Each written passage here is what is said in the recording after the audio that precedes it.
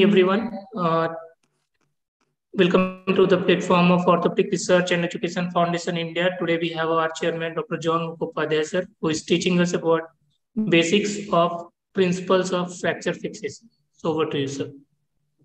Thank you, Janki. Uh, today the uh, talk is going to be on the basic principles of fracture fixation. And uh, hopefully by the end of this talk, most of you would be able to understand the principles of fracture fixation that will lead to early functional after treatment. Realize how the soft tissue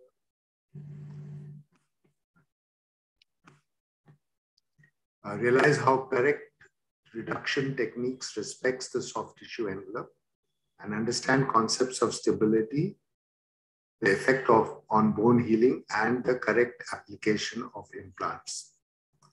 So the basic goal of any treatment of fracture is to try and restore normal function as soon as possible. Okay, so your aim is not uh, how soon the bone heals, but how soon the patient can regain function. So it's not just the fracture healing that is important, it is the regain of function that is important. Okay. Now, we all know of what was known as fracture disease or plaster disease, where you end up with chronic edema, soft tissue atrophy, joint stiffness, patchy osteoporosis, variously referred to as uh, Sudeck's atrophy initially, then RSD or reflex sympathomimetic dystrophy. And today, these are all classified as chronic regional pain syndromes. But a lot of this is to use with disuse atrophy of muscles leading to uh, chronic edema, swelling, pain, etc. So I think it is important that we try and reduce the incidence of this as uh, Graham Apley, a very well known teacher in England who's written a number of books as well, had said that a broken bone heals because it is broken. So, any bone that is broken will try to heal. And this can be seen even in the bones of the mummies from Tutankhamun. But you need a favorable biological and mechanical environment to get good healing and good functional rehabilitation. So the important thing to understand in uh, fracture healing is the concept of the strain theory given by Stephan Perren, who was one of the uh, leading figures in the AO, especially as far as research was concerned. Okay, so he uh, proposed the strain theory where you had an ideal strain for a fracture to heal. Uh, if there was more than that amount of strain in the fracture area, this fracture would not heal because whatever tissue was formed would uh, be unable to form properly because the strain was too much and for the yield tolerance of that tissue. Okay, so you could have a fracture without any movement, which would heal with uh, direct bone healing, as it was known, that is healing without callus. Or you had a kind of ideal kind of relative stability where the fracture would heal with callus formation.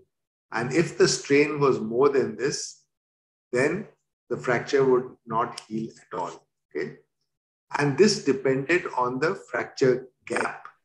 Okay, now what the strain is, is a percentage of the deformation of that occurs at the fracture gap to the fracture gap. Okay, so if the fracture gap is large, then even if you have a deformation which is that much, it will be in ratio to this entire gap would be delta L over L multiplied by 100. Okay. And as long as that is less than 2%, there will be what we call absolute stability, which would be healing without callus. If it was between 2 to 10%, it would be uh, relative stability and healing with callus. And if it was more than 10% or more than 20%, if it's 10%, you would get granulation, more than 10%, you would get granulation tissue without bone formation. And if it is more than that, you will really hardly get any tissue forming, forming in that gap. Okay, so this was what Stephan Perren had proposed many years ago and is still very true. Now, what that means that within a small gap, even a slight deformation becomes a large strain. Okay, so if you have a small gap, even if you have a strain that increases this gap from this to this, it's a large strain because relative to the gap, it will be a large percentage of the gap. Well, if you have a large gap, a movement of a few millimeters will not be a significant strain on the fracture area because you have a large gap where the strain is sort of distributed equally. So the amount of strain at a tissue level is much less than you would have in a small gap. Okay, so this is really fundamental to under, your understanding of fracture healing. And this was a model video that Stephan Perren had made himself.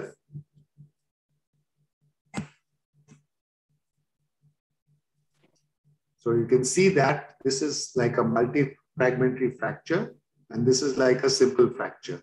And you can see with whatever strain, whether you elongate or you bend, the amount of deformation within this small gap is a lot more than if you see at a cellular level when it's a multi-fragmentary fracture, where the fractures are sort of distributed in multiple pieces.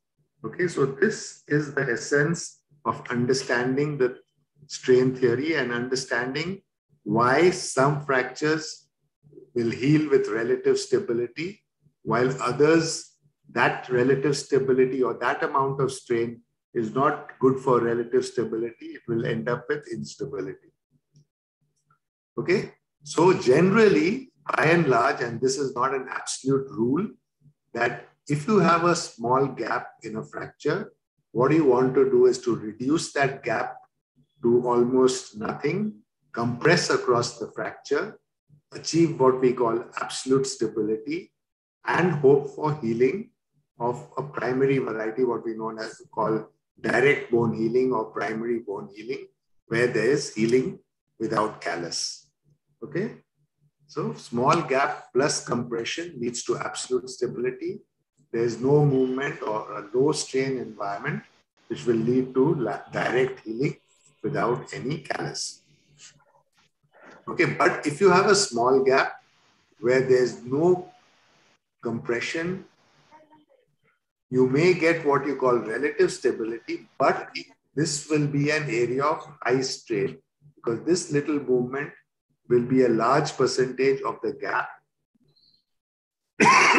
which will be a high strain environment, which will lead to poor healing. On the other uh, side, if you have a large gap, you bridge across this area. Okay. So there may be some movement here, but whatever movement there is here, the strain will be equally distributed along this entire area.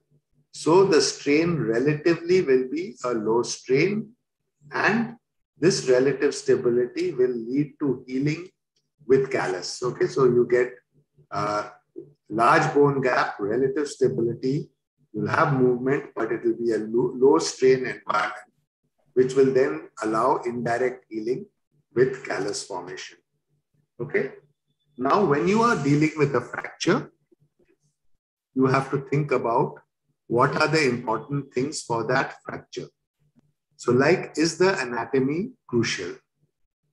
So, where you have a articular fracture, yes, the anatomy is crucial, you want anatomical reduction of that fracture, okay, where you will want to do open reduction to get a good accurate reduction of the fracture fragments. without any gap. And then you have to decide on the implants that you use to fix it. And usually in this situation, you will go for compression, where you have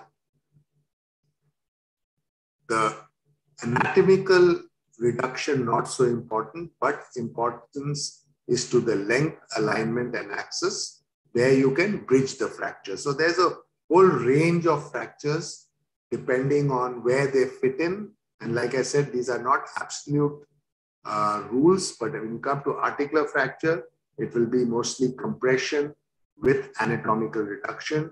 When you come to more comminuted diaphyseal fractures, it will usually be mean bridging without accurate reduction of each fragment, either with a nail or a bridging plate, or even with an external fixator.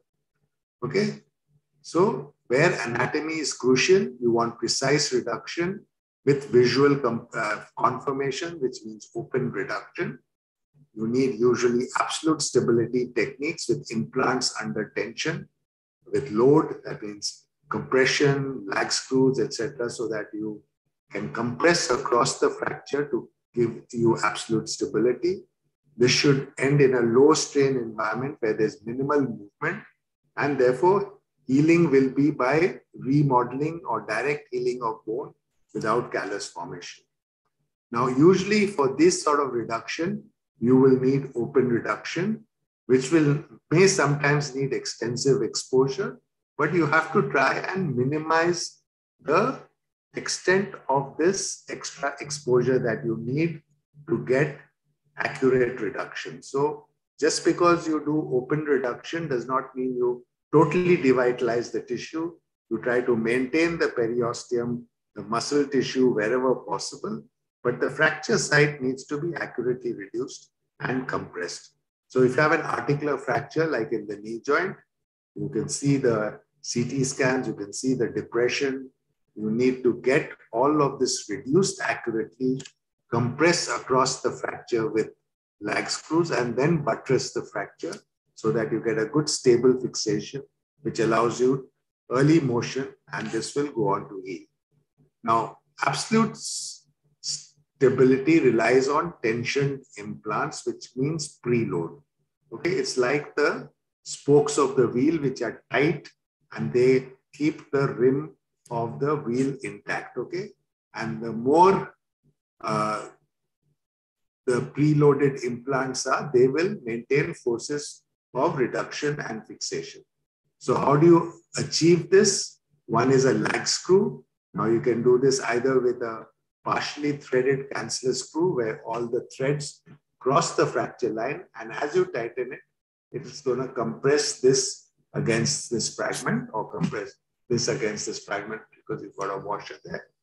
You can do it as a protection plate where you have a lag screw to fix your fracture and get compression, and then a protection plate, which was earlier known as a neutralization plate. Today, the favored term is a protection plate for these plates. Okay, so you put lag screws and a protection plate. Again, Another situation where you can use two lag screws and a protection plate. You can compress with the plate. Okay, so there are different ways you can compress with the plate. One is the dynamic compression hole in the plate works by, as you tighten, tighten the screw, the screw goes from the eccentric part of the hole to a more centered part because of the slope of this hole. As you tighten the screw, you place the screw eccentrically, but as you tighten it, it will go more centric and with that, it will pull the other fragment with the bone to compress across this fragment, okay? So the idea is that the hole in the dynamic compression plate is designed so that as you tighten, if you keep the hole eccentric, will compress the bone uh, as you tighten the screws. The other way and a more effective and more powerful way is to use this uh, tension device. scrub karne bola idhar that Somebody needs to be muted uh, with a compression plate. Okay. And uh, so with a compression device, okay, this is known as the Mueller's compression device. Initially, it was a simple device without articulation. Now you have this articulated tension device, which you can use. You can use this for compression by putting screws on one side, attaching this to the end of the plate, uh, putting the screw on with this in a distracted position. And then as you tighten it, this will pull the plate this way and the screws are attached to the bone on the other side. It will put this part of the bone against this bone and then you put your screws here to fix it. So this will give you a lot of compression, much more than just the sliding hole of a dynamic compression screw will do. Okay, the other way you can get compression is to over contour the plate. So if the plate is, if the surface is like this and you bend the plate in an angle, sort of curve like that, as you tighten the screws, it will tend to cause the bone ends to come together. Okay, so as you tighten it, it will end, it will cause the bone ends to come together and will cause compression of the fracture. This will give you even less compression than the dynamic compression screw, but it will also give you some compression. And it's important when you have a straight bone and you want to compress to bend the plate, otherwise you'll get opening out of the other side when you compress the bone. Okay, so whenever you compress the bone, you'll tend to get a slight opening out of the opposite cortex. So you need to bend the plate to prevent that opening out. Okay, the other group of fractures is where the alignment is crucial. Okay, now here you don't need to get anatomical of all the fragments. What you need to get is the correct alignment of the bone, and that is in terms of length, rotation, and axis. So there should be minimal or no varus or valgus. There should be no procurvatum or recurvatum. The bone should be as close to straight as possible, and the length should be restored, and the rotation should be restored. So you need to get all of this right but you're not worried about getting each individual fragment of the fracture right. And here we will go for what we call relative stability. And this is what you would usually achieve with an IM nail, a bridging plate, or even with external fixators. So if you have a fracture like this, if you try to get every fragment reduced in place, definitely that will be the best anatomical stability that you can get. But at what cost? If you end up devitalizing the fragment, the vascularity will suffer and you will, it will lead to delayed healing and possibly infection. So here you want to bridge the fracture, get the length right, and not even worry about the exact position of individual fragments. And you can see how the fracture has gone on to heal. Okay. Similarly, another fracture of the proximal femur, you can see how the femur fragments are shattered. And if you try to individually restore each fragment to position, you will end up devascularizing it. So if you can reduce it closed, get a nail across with good stable purchase, uh, you can get this to heal. So here's you can see it's been nailed with, uh, this was a gamma nail in those days, a proximal femur nail similar to that. And you can see how this fracture is going on to heal again without any disturbance of the localized vascul local vasculature and soft tissue, okay, because it's been a closed procedure. Okay, now the nail designs have been improved a lot to allow you to nail more distal and more proximal fractures, both in the tibia and in the femur. So in the tibia, you had the expert tibial nail. Now you will have the suprapatellar nail. Okay, so here's a one where with a proximal fracture, and one of the problems was to get the right entry would normally with the normal nail would be here, and that would not give you adequate purchase in the fragment, and also would cause a deformity in this fracture as you try to reduce it. While if you go more proximally and use one of these uh, designs with a higher Herzog bend, it will give you the ability to reduce even these fractures and fix them adequately. Now, how do you plate these comminuted fractures? So here what you need to do is to hold the joint bearing segments in their correct anatomical relationship until the bone goes on to heal.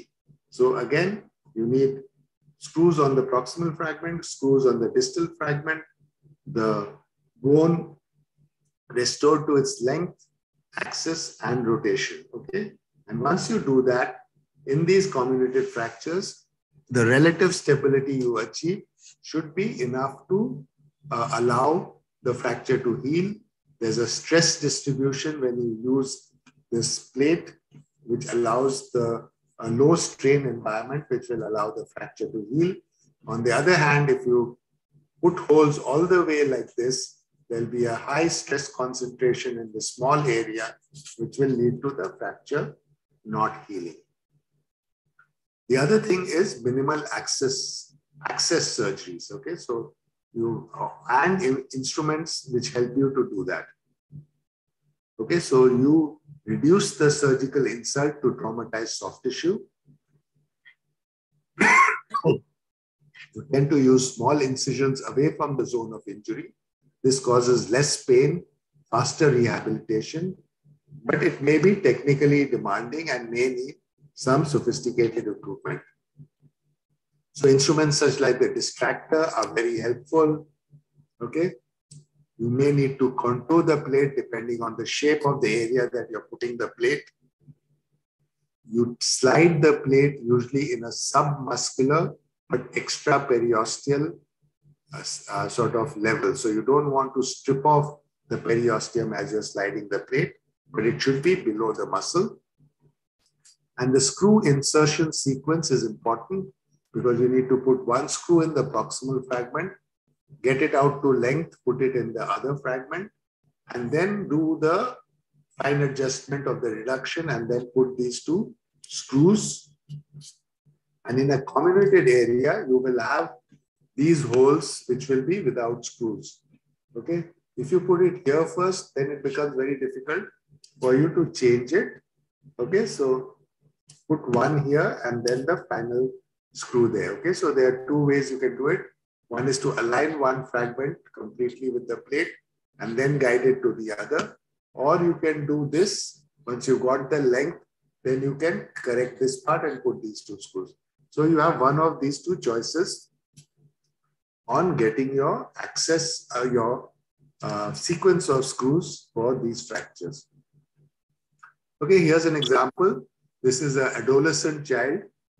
Uh, we do not have the lateral femoral nail for children available in India. This is too comminuted and too proximal for the 10 scale. So here's an option where you can do a submuscular plating. You can see how the plate has been slit. Minimal incisions here, a little bit of an incision in the trochanteric region.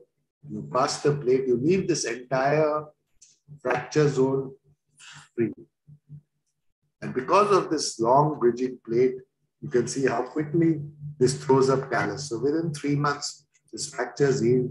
This is how it's in eight months, it's already uh, remodeling. And by the time the implant is removed at a year and few months, you can see how this is beautifully remodeled and healed. Here's another example. This is a four-day-old injury in a young man. Okay. Here again, you have a minimally invasive approach on the anterior side. You slide the plate in a submuscular region and you, that's how you fix it.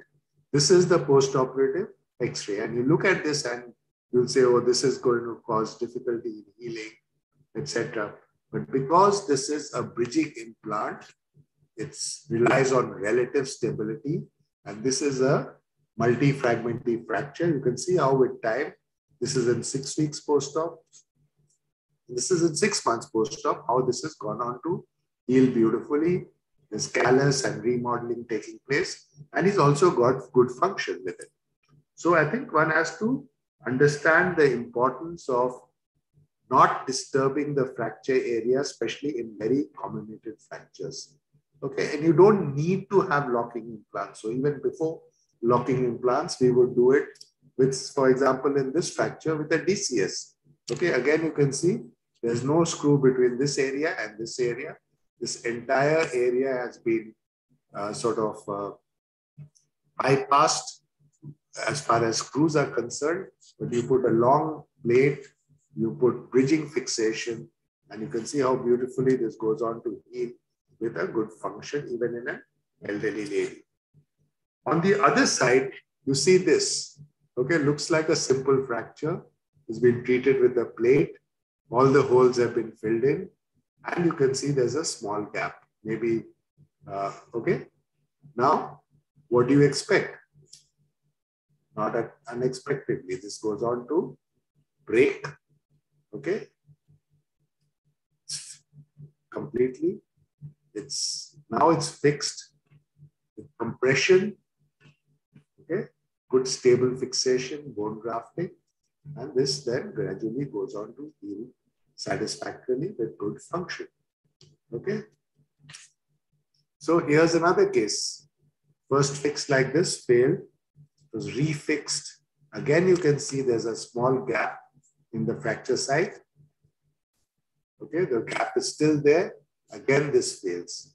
Okay, so in this case, because it had already been fixed many times before, three times before when she came to us, when he came to us, here we decided to put uh, additional stability with a second plate. So compression and a second locking plate in a orthogonal manner to give it additional stability. And you see how well this has now gone on to heal.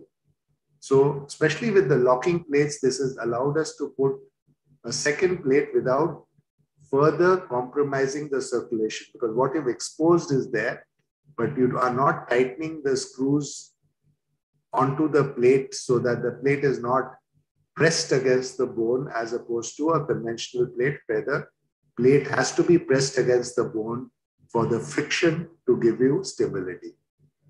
And lastly, what about mixing techniques? So you don't want to mix techniques within the same fracture area, but you have situations where you have an articular fracture at one end and a diaphyseal fracture at the other side. So here you would use anatomical reduction, uh, compression, uh, fixation, absolute stability for the articular fracture, while you use the relative stability for the diaphyseal and metaphyseal fractures. You can see how this had been fixed with the articular surface, this has been bridged, and how this has gone on to heal satisfactorily with a good function. so to end, the take home message is you need to understand the principles of fracture fixation, where the anatomy is crucial. You need to get anatomical reduction, absolute stability, so that you have a low strain environment with implants under tension, so that the fracture can heal without callus. Okay, where you're dealing with diaphyseal fractures or metaphyseal fractures, you want to get the alignment right. Okay, you can choose between a nail or a bridging plate or even an external fixator in certain situations.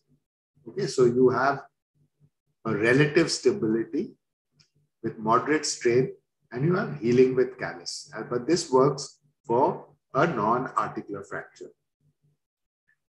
Now, the forearm bone is slightly different in that we often in the AO consider this as a articular fracture. Therefore, you need to get fairly good reduction. However, even in that, if there's a lot of comminution in one bone, we would often treat the small, the simple fracture with compression plating and bridge the comminuted area.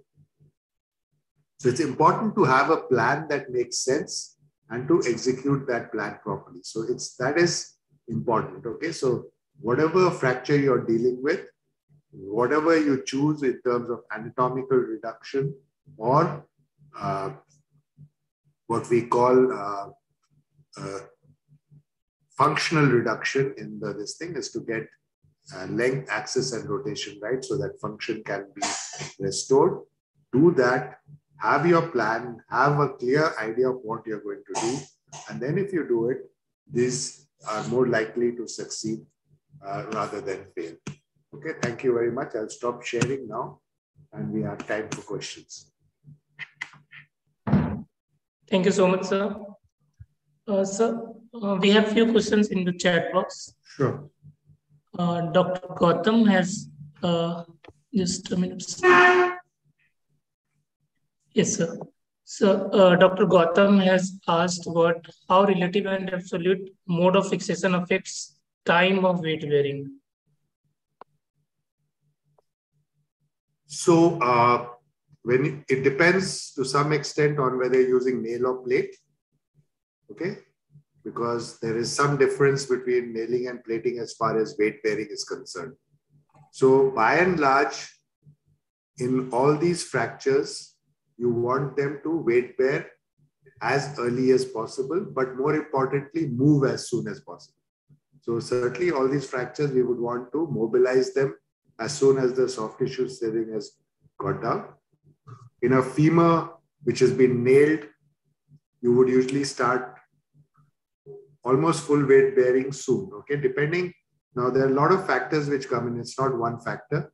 It depends on the amount of comminution it depends on the working length of the nail and it depends on the size of the nail. So the thicker the nail, the more early you can start full weight bearing. If it's a thinner nail, you may have to protect it for some time. A more comminuted fracture, more junctional fracture, you may have to protect it for some time. Okay. By and large, nails you can put weight, weight bear a little earlier than plates. But it doesn't mean that just because you put a plate, you will not mobilize them. Okay, the whole idea is that even if you're using relative stability, you want to mobilize these patients. Okay. So, uh, Dr. Amay Gursal asked, what uh, does stress strain theory applies for intramedullary device also? So it does, but it's slightly different, okay? Especially for the lower limb. Okay, because what happens with the lower limb is in a simple fracture, when you nail them and a patient walks on it, okay, you have very close to, you don't have true absolute stability, but very close to absolute stability. Okay, because when you're weight bearing on them, there is some biological compression which does take place. Okay, so it's a very stable situation in a simple fracture and while it's in a comminuted fracture, you want a bridging kind of fixation, which it serves again. So I think uh, it's it's a always a interesting question when you talk about nailing in a lower limb and still do nailing for a simple fracture, and you then say that for simple fractures you want absolute stability. But this is where the difference comes in when you're putting a nail, a good sized nail in a simple fracture in the lower limb and they weight bear, it is very close to absolute stability. But this is not a 100% kind of answer that you. So that's why when I put up that chart, there was this overlying of certain areas, okay? So uh, even you have used uh, for partial articular fracture, nailing like a distal tibia fracture, which is going yeah, into joint. Still want to put compression across the articular fracture line, okay, with screws, okay. So that is absolute stability in the articular part. Yeah, so the articular and the relative stability is for the shaft. Yeah.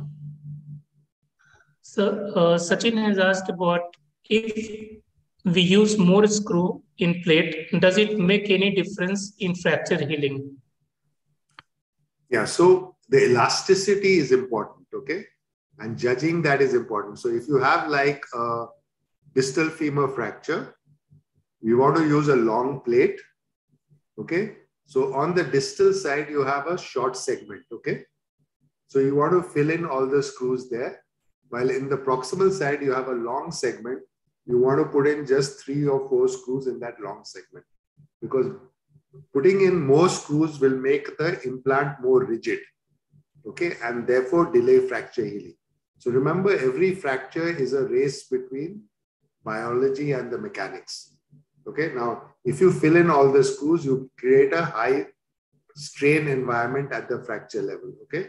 Now if you make it rigid there's less micro motion So there's always this balance that you have to try and create in these fractures where you're compressing across a fracture with no gap. It doesn't matter if you fill in all the screws. But where you're using bridging, you want to leave a little bit of elasticity in your fixation and put in just a ratio of usually one is to two screws for the number of holes that you have. Okay, so. So uh, there is one term uh, which is commonly used in your courses like elastic osteosynthesis in the book also they have given. So can you? Uh, so that's exactly what I said. You need to have a certain amount of elasticity to your fixation. Okay, so that allows a certain amount of motion. But that is what you have to balance. There's a sort of thin line between relative stability and instability. Okay, so you have to try and that takes a little bit of judgment and time, but by and large, you try to get in a very comminuted segment, you try to get one close to the fracture, one away from the fracture, and then one or two in between. Okay. Unlike a simple fracture where you want to leave holes close to the fracture free. Okay. Because in a simple fracture, if you put in all the holes and go close to the fracture, you're going to have no area without screws at the level of the fracture. And then if you have a gap, that will become a high strain environment. While in a big fracture gap, anywhere you are leaving an area of screws without screw holes without any screws. Okay. So you will always have a sort of distribution of the strain over a larger area. Okay. So uh, there is, uh, Dr. Amay asked what, can you please explain the theory of Perren gain with slides? Perren? Yeah. Okay. Have, Okay. Are there any other questions? Then I can go to that. Yes, sir. We have uh, after so fracture. Just remember, and at the end we'll do that. Sure, sir. So after fracture around elbow are fixed, the usual problem is stiffness. So can be mobilized immediately after day of 40. Yeah. Okay. So the idea is to mobilize them as soon as possible. However, around the elbow, you have to be a bit careful of the wound. Okay, so usually most people have gone to uh, waiting a day or two just for the soft tissue swelling to subside before starting mobilization. But if there is no swelling, you can start straight away. If the wound closure is without tension, you can start, and your fixation is stable, you can start straight away. So, is there any order of screw fixation in a DCP like when we are using for a forearm plating. So if you're uh, pressing across the fracture, yeah, used to be originally near, near, far, far. Okay. So when you're compressing, you put the nearest screw, then this thing, and then go far, and then put the ones in between. But it's not a see, like all these things are not strict rules. So sometimes the hole nearest the fracture uh, uh, may not be the best hole in terms of the fracture configuration. Okay, so you may go to the next hole, but what you want to do is to put one screw in centric and tighten that, and then the other side you put a dynamic compression screw in an eccentric. You put the screw eccentric, and as you tighten, it will compress. Okay, now you can add a second screw for compression. Okay, but as you tighten it, you need to loosen the first screw and then tighten it. And this will compress it a little bit more. Okay, but not a huge bit more. And the maximum you can go is probably to a third one.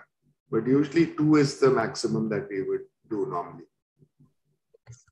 So uh, as uh, we learn what like when we are doing for distal femur fracture fixation, for the plating, the plate should be little away from the bone or uh, it should be between the muscle and periosteum. So another thing uh, in the uh, few of the uh, books, it is written like there should not be any tension over ITB. So how to make balance between these two, sir?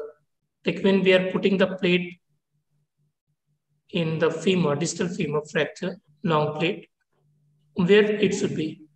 So if it's, so it depends on the bone, okay? So remember these are anatomical plates with one design, which one expects to fit everybody, okay? That is not going to happen, okay? So especially in the elderly where the bones tend to be a bit bowed, uh, if you then tighten the screw on the distal part, on the proximal part of the plate, you will end up in valgus. Okay. So the plate will sit off a little bit. Now, if it sits off up to two, three, four millimeters, it probably doesn't matter. But if it sits off more than that, then you're probably okay to just bend it a little bit. This is, again, not something that is recommended as a standard thing, but in a very badly bowed bone where you don't want to see, eventually your varus valgus in the knee is important. Okay, and these patients' anatomy has sort of remodeled to that position.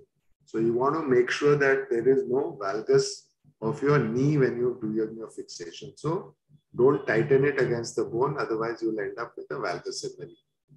Okay. Now, low, so this is a can be a problem in areas such as the ankle area, okay, where you're putting a medial plate. And very often, if you don't use a plate to make the uh, a screw to seat the plate on the bone properly, you'll have a bit of the bones or uh, plate sticking above uh, out of the bone. And then over a period of time, you will get a late infection and sloughing of the skin. This has been seen and reported uh, by a number of authors by now. Okay, so I think there are certain areas where the soft tissue is poor. You need to try and get the plate close to the bone. Okay. So, uh, just uh, one question about like uh, in the DNB, they used to ask for the viva, like one is working length and one is helicopter effect so if for these two questions, you can focus on. So helicopter length is? Helicopter effect, sir. So what happens is when you're putting a locking screw, as you're tightening it, the screw tightens onto the plate. Now, if the opposite side is not secured, it's going to, the whole plate is going to suddenly rotate. Okay, just like this we, the, this thing spokes of a helicopter. Okay, so that is what is known as helicopter effect. Now, working length varies for different things. So, for a nail, it is the uh, distance between the parts of the nail which are in contact with the bone. Okay, in a plate, it is the distance between the screws close to the bone. Okay, I mean, that you put in in the gap in between. Okay, now also the screws have their working length. Okay, so in an osteoporotic bone, the work if you put a unicortical screw, the working length becomes too small. Okay, so they say you should have uh, bicortical screws. So the working length is a term which is used in different situations which don't always mean exactly the same thing. So there is uh, one question asked by Dr. Vijay Kumar. Uh, he wants to know about efficacy of titanium implants over stainless steel implant over the years in your own orthopedic practice of fracture fixation. So, if you really look at it very uh, critically, there is very little hard evidence of one being better than the other. The only thing that is by and large kind of thought is that titanium may be better in presence of infection. Okay. Now, there, there is a certain uh, cellular level reason for this. In that, what they have found is that titanium affects the oxidative burst capacity of mitochondria less than steel does. Okay, so what happens is the cellular tissue is less affected by titanium and functions better in, in, with titanium than with steel. But this is a theoretical or a, a sort of uh, reasoning. There is no hard evidence to show that it really makes a difference. So we tend to use what is available. Okay, so when LCP came to India, it was it came only in titanium. Okay, while in the US they were using steel, Europe they were using titanium. Okay, so um, the one advantage of steel over titanium is there is less risk of what is known as uh, cross welding or whatever you call it, where removal of the implants is a little easier than with the titanium implants, especially the 3.5 millimeter implants. Uh, removing these locking screws is often a major part of your procedure. It can be quite difficult. Uh, very often, if all the screws are heads are, are difficult and uh, become need to be drilled out to get the plate out. Okay, but uh, with the quality of steel and titanium that we have available today, uh, there is no hard uh, and there's no real difference between the two as far as the biomechanical properties are concerned. Uh, some people say that for nails, titanium is a little better. For plates, steel is a little better. But I think there will be people who are going in both directions. Okay. So one more argument about the MRI scan for steel. Yeah, so that is that is uh, was definitely an issue. Now today with the modern generation MRIs, you can even do MRIs with steel implants. Steel is not magnetic, okay? So it's not a problem because of magnetic effect. The problem is because of scatter. Okay, so if he has a steel implant, it's not that he can't do an MRI for the rest of the body. But in that region, there will be a problem because of scatter, which is less than that, less in titanium. Okay, so there's no reason for not doing an MRI because he has a steel implant. But if he has a, a steel implant in the region where you want to have the MRI, then it will cause disturbance in the images. Okay, so it's none of these are ion implants. Okay, which will react to the magnet. Okay, all of them are non-magnetic. So uh, so, so uh, if there is no, okay. that one's the theory of